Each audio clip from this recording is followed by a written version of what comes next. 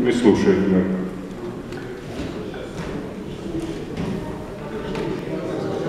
Так это проблема всего города.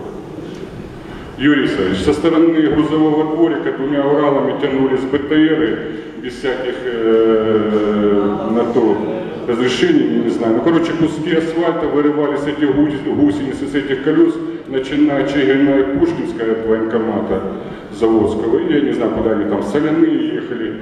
Ну, куски асфальта прямо с-под этих гусениц тягачом тянули, подбиты ли они или поломанные, я не знаю за эти БТРы. Надо что-то делать с этим. К великому сожалению, я сам лично был свидетелем того, как тяжелая гусеничная техника, самоходное орудие, нормально обойдя Пушкинское кольцо, рвануло по Пушкинской в сторону ПГС. Но это просто... Обратимся. Ну, естественно. Вы видели тоже это, да? Игорь Николаевич Копейкин. Вы правы абсолютно, э, Вячеслав Николаевич. Я э, прошу дать протокольное поручение э, обратно же департаменту, департаменту ЖКХ и Валентину Васильевичу Айдержи.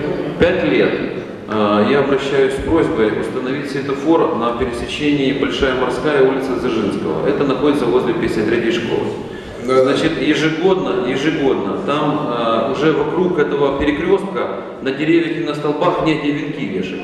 Вы правы. Э, Пять лет. Я пять лет получаю, э, запланировано, как начали получать в 2010 году, запланировано 10 год, 11 сейчас получил тоже запланировано на 15 год. Так, даю протокольное поручение. Дзержинского, Большая Морская, Я запомнил. светофор.